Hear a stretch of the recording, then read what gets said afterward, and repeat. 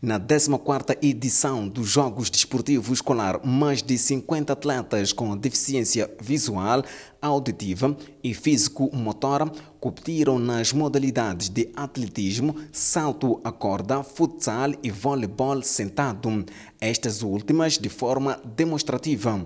Para os atletas, a inclusão destas modalidades ajuda a aumentar a autoestima das pessoas com deficiência. Mudou muitas coisas, tipo, epa, a minha saúde mudou, a minha vontade de, de treinar. Os desafios são muitos, né? Basta treinar, treinar, treinar, treinar. Para os PCDs é mais para a inclusão, porque as pessoas socializam-se menos, os PCDs socializam-se menos por causa disto, mais aquilo, mas o desporto vai mais para agrupar todos eles, tá? para mostrar que não há diferença entre os PCDs e os convencionais. A fraca adesão de atletas com deficiência em atividades desportivas é motivada pela falta de incentivo na família, tal como explica Mailton Fernando. Os pais diziam que não estás a simplesmente ocupar o seu tempo com coisas que não vão te dar certo.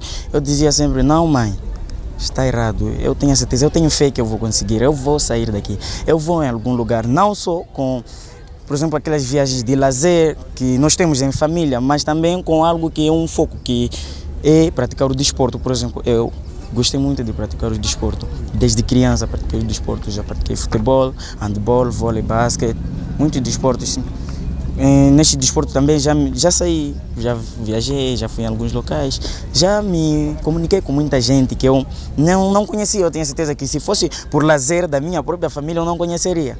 Mas, que, mas como é por algo que eu desporto, eu conheci muita gente, por exemplo, já conheço aqui esta gente, as suas províncias. Eu aconselho a eles também não se limitarem não pararem de praticar o desporto. Os jornalistas que cobriram o festival dão nota positiva à inclusão de modalidades adaptadas neste evento. Parabéns pela inclusão. Temos que mostrar que todos podemos praticar desporto. E o maior ganho para mim é esse. Mostramos somos juntos, estamos juntos todos. Há essa inclusão que é muito importante para a construção de um ser humano cada vez, com, cada, com, com melhor forma de convivência entre nós. O governo está de parabéns em poder eh, abrir esse espaço para os deficientes. Uma questão também de não discriminação numa situação em que temos alguém que tenha deficiência, mas também o, o deficiente precisa de praticar o desporto, precisa também de ter uma vida saudável que através da prática do desporto contribua. Entretanto, é um papel positivo, é uma iniciativa de louvar e é muito importante também que se desenvolva o desporto para os deficientes e eles também tenham o espaço para fazerem aquilo que lhes convém no desporto.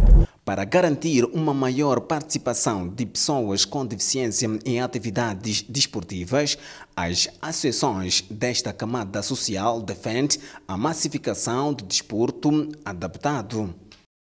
Há muitas restrições para de facto haver uma inclusão na parte dos esportes, mas está-se a lutar de todas as maneiras para que no posterior, para que haja inclusão em todas as instituições escolares no âmbito desportivo para o desporto inclusivo. Primeiro é sensibilizar os próprios meninos para que olhem o desporto como um algo muito fundamental na parte de saúde, na parte mesmo para a sua locomoção, é muito importante, principalmente para pessoas com deficiência visual, porque sem o desporto dificilmente haver fazer uma locomoção com toda aquela qualidade. Mostrar que a pessoa com deficiência é, é, é, capacidade de fazer o que um convencional faça também.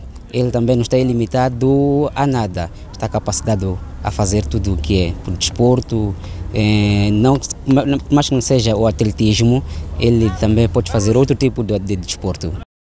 A 14ª edição do Festival Nacional dos Jogos Desportivos Escolares, realizada em Manica, contou com a participação de mais de 1.500 atletas.